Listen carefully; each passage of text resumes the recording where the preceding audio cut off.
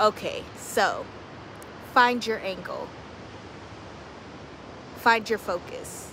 I think that's the word for right now. Find your angle, find your focus, and when you find that focus, breathe in it.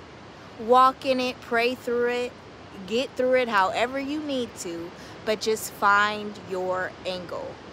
Find your focus. Find your why.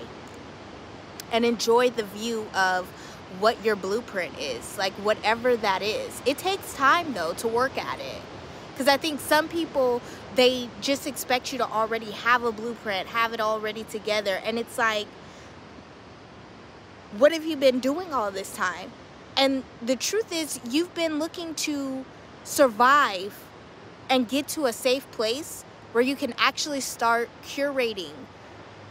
I think a lot of people think that originality can just spring forth.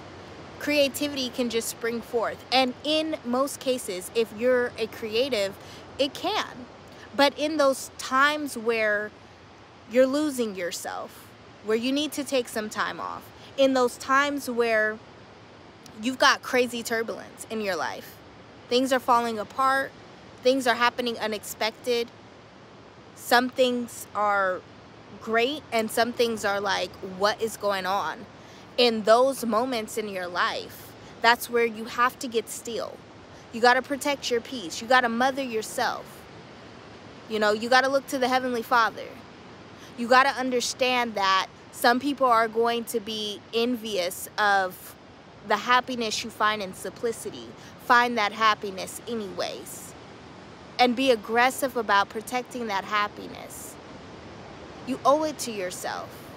Always make time out for God because He's always making time for you, even when you don't realize it. I've had the worst habit of on and off with my prayer, on and off with my prayer.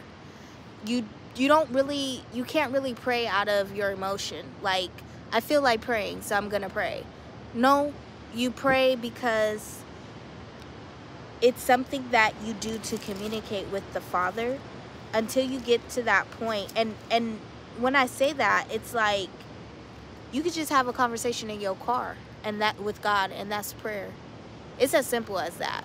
To be completely honest, it's as simple as that. Or you could take the time out and you could sit seaside. Whatever it is that you need to do. Bye for now.